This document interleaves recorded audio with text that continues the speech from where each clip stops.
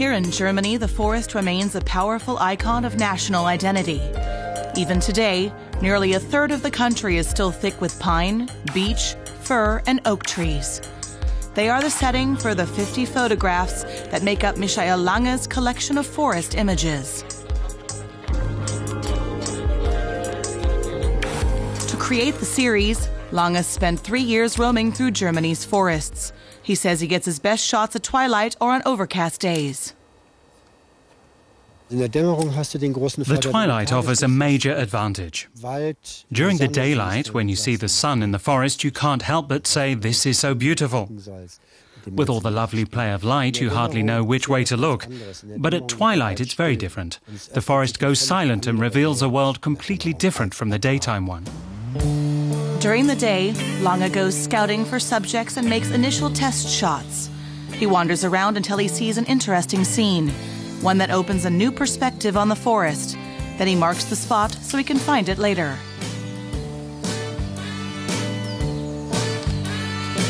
When the weather is bad enough, he returns to the spot. One finished image is put together from several shots. The result imitates what the eye actually sees without distortion.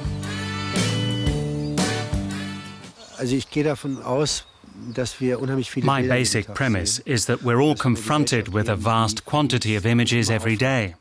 And we live in a society that continually grabs us and stimulates us visually. I want my images to create a space filled with silence. My photograph should be peaceful and calming.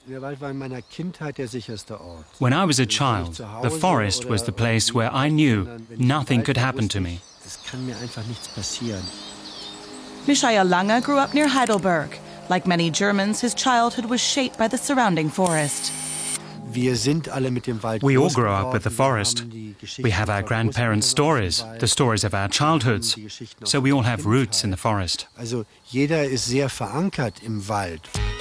Germanic sagas and legends also have their roots in the forest. But today's forests are more like managed woodlots for logging and recreational purposes. Very little primeval forest survives, even if some 75 types of tree are native to Germany.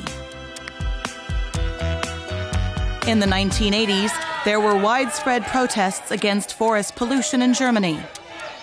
Over the centuries, the forest has struck deep roots in German fairy tales, music, and painting, and in the German cultural consciousness.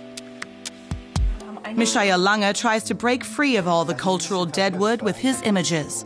He meticulously assembles the images on a computer in his Hamburg studio. They're printed in a photo lab and can be up to one and a half by two meters in size. The final print is open to interpretation.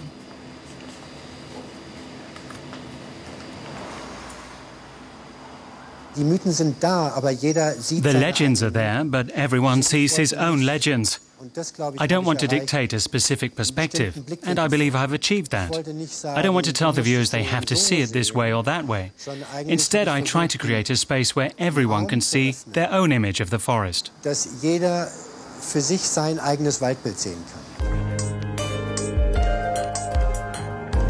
The result is a series of photographs in which the power and the mystery of the forest remain very much alive.